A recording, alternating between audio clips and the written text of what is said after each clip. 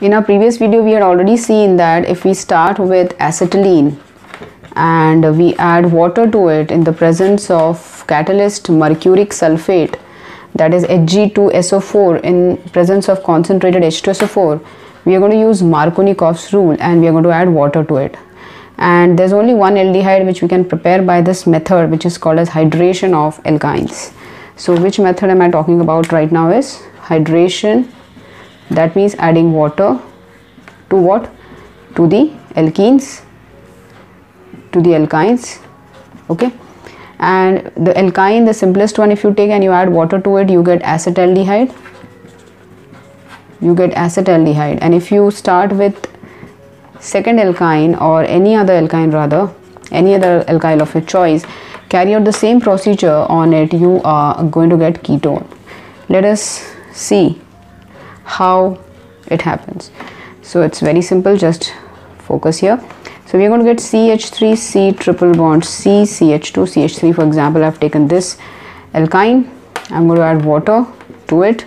In presence of concentrated H2SO4 and mercuric sulfate as a catalyst Markovnikov's rule will be followed here and we can see that this alkene, alkyne sorry this alkyne is going to be di substituted because the double, triply bonded carbon atoms are attached to number 1 substituent on the LHS and number 2 substituent on the RHS. So here there is no um, you know need of thinking about what where should I attach the hydrogen and where should I attach the OH because both the carbons are of the same type. This one is attached to one carbon, this one is also attached to one carbon. So here you can attach the H uh, even here or even here. So in this case we're going to get two products okay let's talk about the first product the first product is uh, if I start putting the H uh, on this and the OH on this then what I what do I get? So I get like this. I get like this CH3 C double bond C CH2 CH3 and naturally if you're attaching new uh, atoms by a bond the one of the double bonds has to vanish. So we'll be getting CH3CHOH what do we get here is look at this we get a compound which has a double bond as well as an alcohol. So it's called enol which is quite unstable and it will start rearranging itself in this manner. Look at this look at this. So we are going to just shift this H as H plus and this double bond comes here.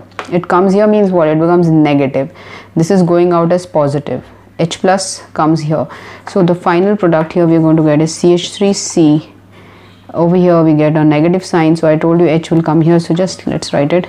CH3CH one more H C CH2 CH3 and finally children you can see here that there's a double bond being formed over here.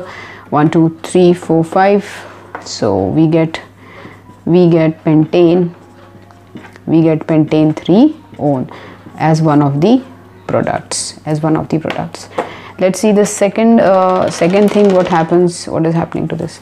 The second thing which we can do here is instead of writing like this I may say let's put H over here and the OH over here. So when I do so I'll be getting this. CH3COH single double bond CH CH2 let's write it in the condensed way C2H5 now again this is enol.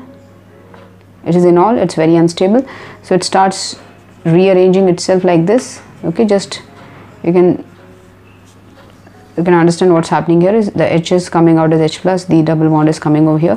So what we get here is CH3C double bond O CH CH and there's minus coming over here. So this H comes over there. So let's write CH2 CH2 CH3 look at this. So what do we get? What do we get? Look at this 1 2 3 4 5 so we get pentane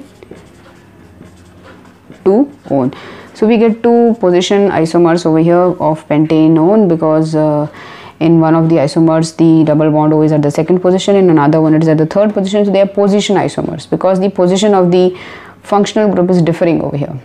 So children that's all from this video as of now because these were three simple methods which we have discussed. In the next video we'll be talking about the next methods which will be little new for you.